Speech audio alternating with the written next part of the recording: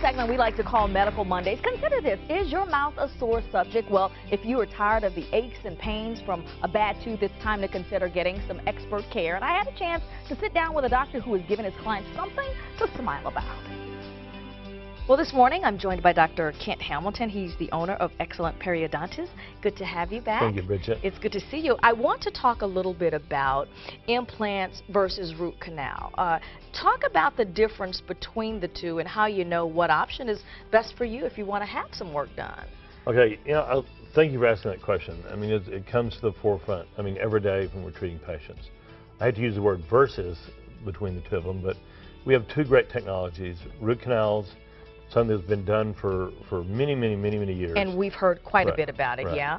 And, and then implants, which, I mean, they're not new anymore. I mean, implants have a 20-year survival rate of over 90% in both the, in both the upper and lower arches. Mm -hmm.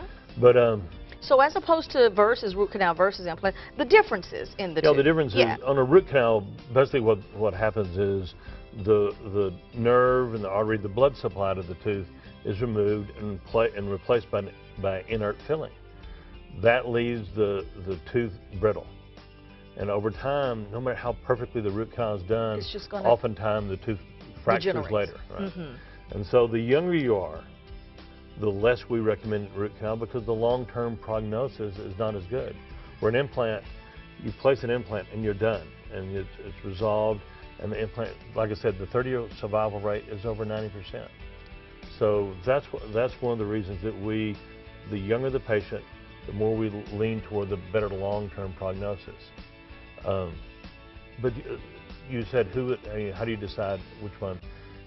But mainly your dentist, the dentist that you're working with is going to know all the different uh, variables that are associated and is going to be able to recommend recommend that to you. But one of our main things is always ask, would an implant be more appropriate in this situation? Good advice, Dr. Hamilton. Thanks so much. Thank you.